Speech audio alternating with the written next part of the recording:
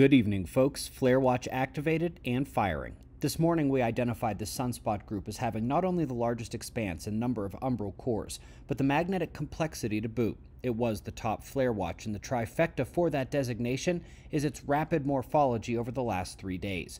Look at how much it has changed over this week and growing in size and complexity when just an hour ago Big Ben struck one, an M4 solar flare, luckily relatively impulsive, and there does not appear to be a CME from it. It was confined to the active region.